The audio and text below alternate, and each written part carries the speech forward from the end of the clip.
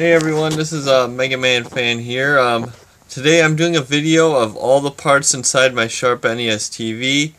I've spent the last few days just logging all the caps on all the boards in case someone ever wanted to uh, replace them all just um, in, in case they're bad or just because of age. So um, here you go. I hope you all enjoy this video. I put a lot of time into it. So um, here you go. Main purpose of this video is just like I said to help everyone out. Um, let's just do a quick start out here of what all I got.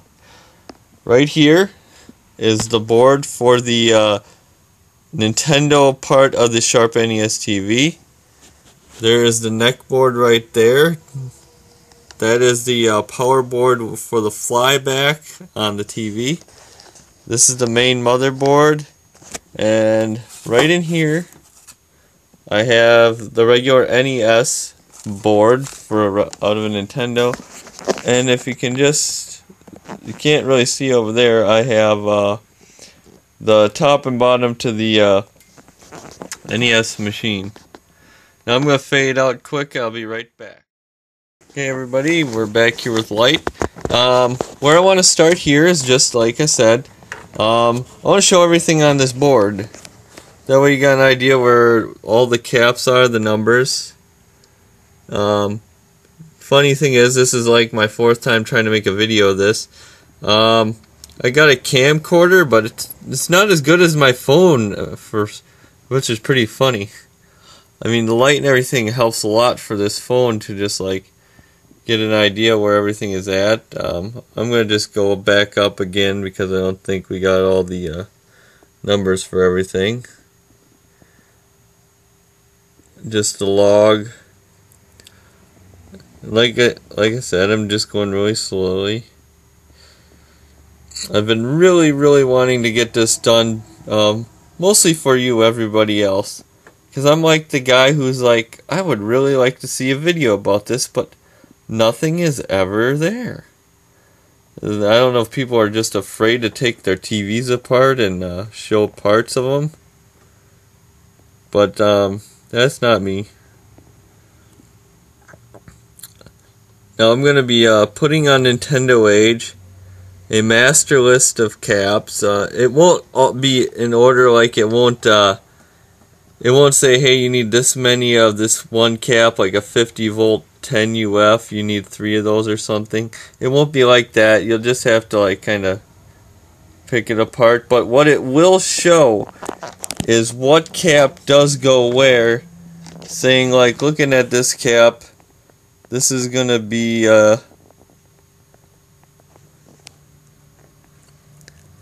C726, which is right there and it's just gonna you know 25 volts and so many UF now here's the fun part. This is the built on RF modulator for this board. Pretty simple. I think it's cool.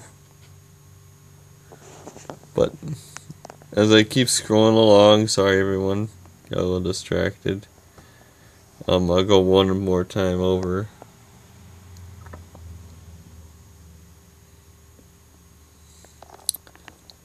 See, we ended right here.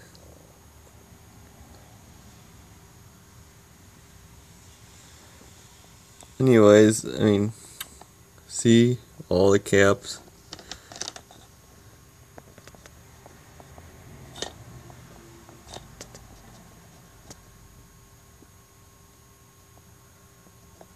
I hope people get a lot of useful information off of this board or helps them fix it.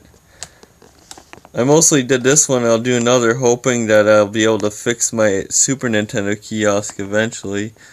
See the type there for for the fuse 4 amp 125 volt.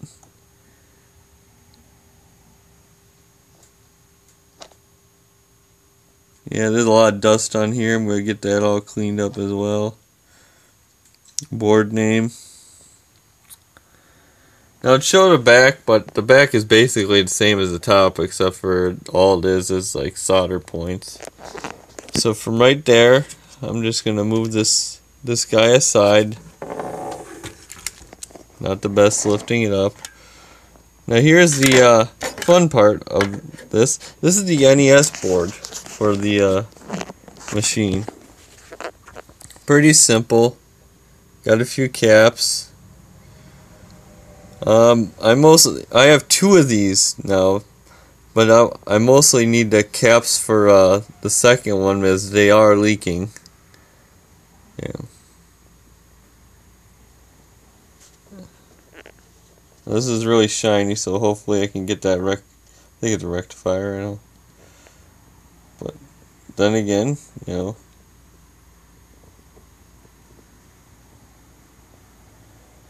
Now here's an interesting thing. Uh, these right here, this is these are for player one and two. These are for the power to the board and to uh, for the computer part of the board. We get all these uh, things in place. Yep.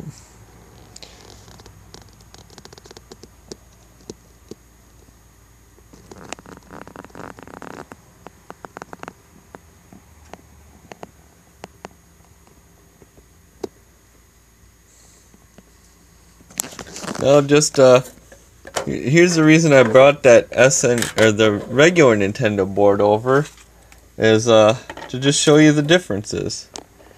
See, right there you got a uh, RF modulator, I'm pretty sure. Like I said, I'm not 100% sure the name.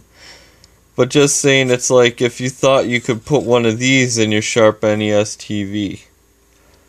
I'm not sure you can. It would require a lot of work. I mean, it, you can pop out any Nintendo circuit board.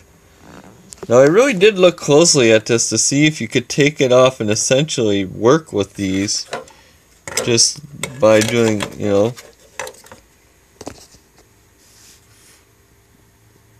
But uh, for me it's like, in order to do that you'd have to unsolder these four points here and maybe these and then fill them in once it's off the board and then you'd have to then if you had like a bad board this was bad cracked or something unsolder all these and somehow make them work with all these points here again as you can see player 1 and 2 are there and they are these are a lot smaller compared to the ones on uh, this board here as you can see these are huge And then, um, moving on from these, I'm just going to put these aside.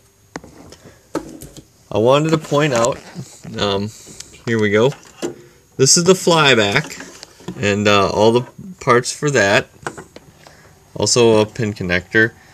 Basically simple. They're universal in all systems. They work for the TV, they work for the Nintendo. I mean, it's the one part they kept universal. But I just showing lots of parts. Hopefully it helps. Try to keep the wires out of the way. And that's the thing about all these wires, they're everywhere. I don't know what this is, but if anyone can tell me, I'm pretty sure it needs to be replaced. As you can see, it's sort of melted. TV works fine though. I just would like that replaced just because.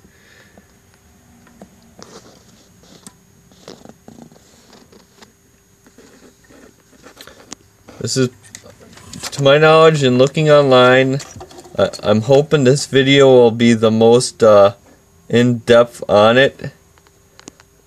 Not going to go into testing anything, but mostly just showing what the board what's on the board itself for all these boards and uh, so you know some of these wires do not come off I mean they look like they'd pull off simple but no that's just uh,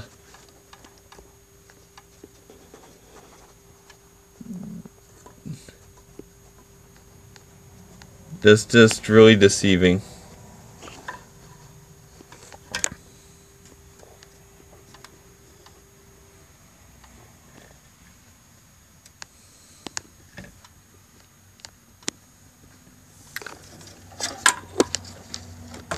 Now, uh, onto the neck board.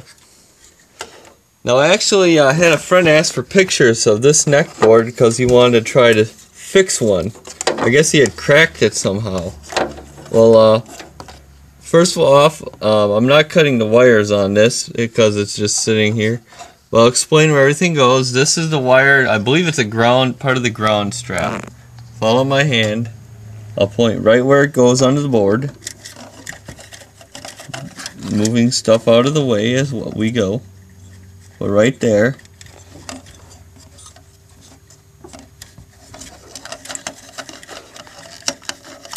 Without breaking anything. There's the uh, ground strap. K854, K851. But you follow it, and I'm pretty sure it's the ground because it goes right to the ground wire. And while we're here, let me show you the inside of the TV here too. There's a warning label. I hope that helps. Um, I don't think anyone's recorded any of this. Oh, I gotta get my hand away from the fly. Um, here's the speaker. Right there, if you ever want a replacement speaker. Pretty simple. Um, the wiring for this, if you ever screw it up, uh, I'll point it, there's the two prongs. The solid white goes here, then there's a white with little, little red stripes going on the bottom. And then uh, let's just completely keep going. Here's my Sharp NES TV uh, label that just marks what the TV is. And then uh, just roll around in it. We'll get back to the neck board in a moment. I'm just really really want thoroughly. And this this is the hookup for the RF modulator on the board. As you can see very simple. This hooks into the bottom of the board right there. There's two clips. As you can see a hole left and right. And then the uh, wires just clip right on. Uh, See, there's that board there. Here's how it's done.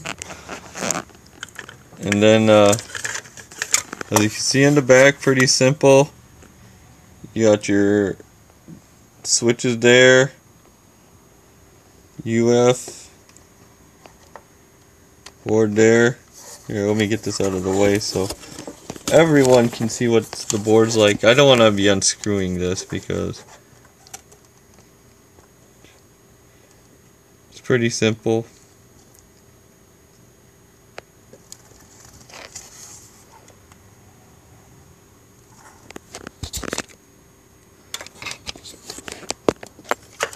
Alright. Enough of that. I'm I'm pretty sure once you take these apart, you'll get uh you'll get the hang of what everything's used to.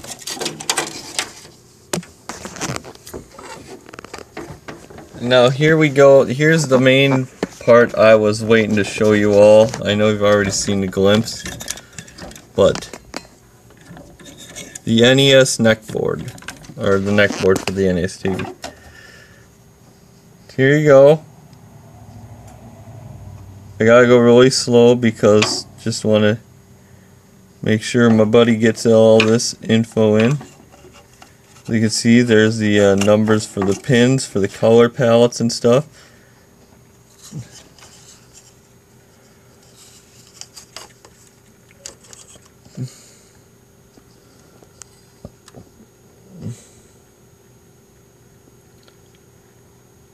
phone's getting a little bit slow, which means I'm probably running out of room.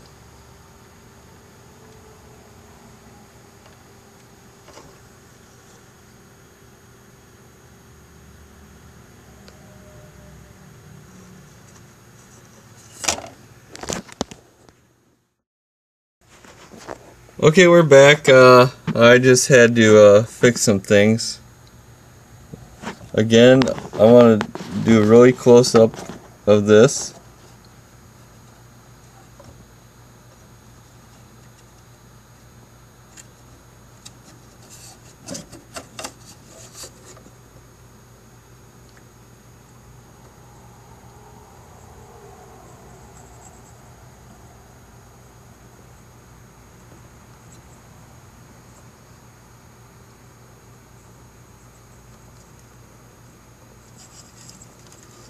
Nothing really over different in this corner here other than that. Here's these labeled 1 through 5 on this paper here. See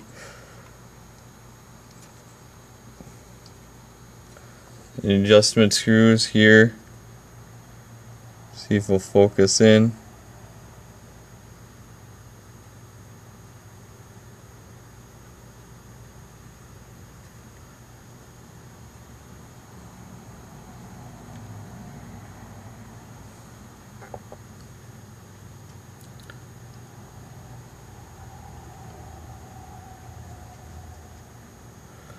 Sorry I'm taking so long, everybody. And uh, let me just set this on here quick so you can see a nice, nice, nice picture of the entire board. Aaron, I hope this really helps you out. I went through a lot of time to get this. All the help, friends. Hope our buddy here, you can get his neck board fixed for us.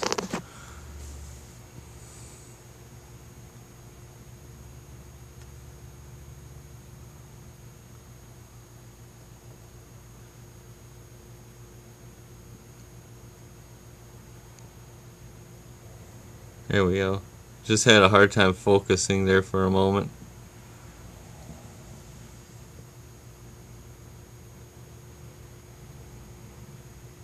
On.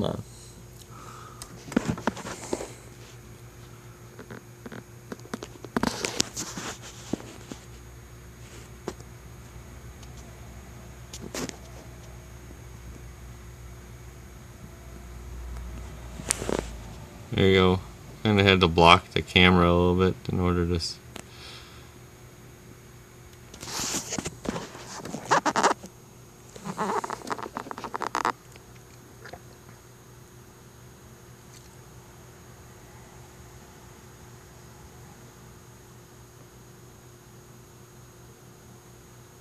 May seem like I'm wasting time, but there we go. It's very important I get all these numbers.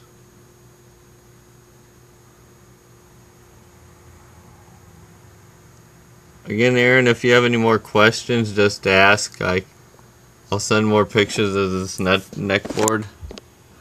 And, uh, there you go, everybody. This is Mega Man Fan here, and um, you have a good day. Forgot to add something, people. Uh, just starting up a little bit again. Um, this is actually what it looks like together. Uh, no, I didn't put this together fast. This is actually the original for the bottom of the TV. I have an extra bottom. And uh, I'm just trying to show everything here. Now, I am missing a piece to this TV if uh, for an extra bottom. Is this right here, which is the control circuit board to turn it on and off. Now, uh, I don't want to move this too much. The feet are going to break off. But as you can see, this circuit board right here, no pins or anything.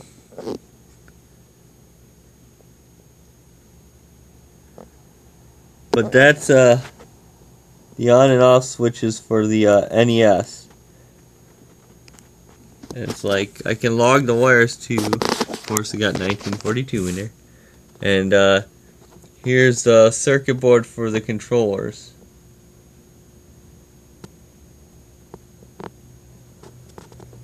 I'm gonna end that there. Um, also, here's the top this is also an extra top I had for it obviously. Um, as you can see, all the machine does it. the TV just sits on top of here, but there's a bunch of screws all throughout this area here that hold it together. And then when, if you look in here, pretty simple. But it's right here. I believe these are the mounting screws. Underneath is four Phillips screws. One, two, three, and uh, you'll see the other two things. Yeah, four Phillips screws hold it together. Um, anyways, everyone, uh, here's a brief picture of uh, some of my collection. Um, thanks and have a good day. Bye.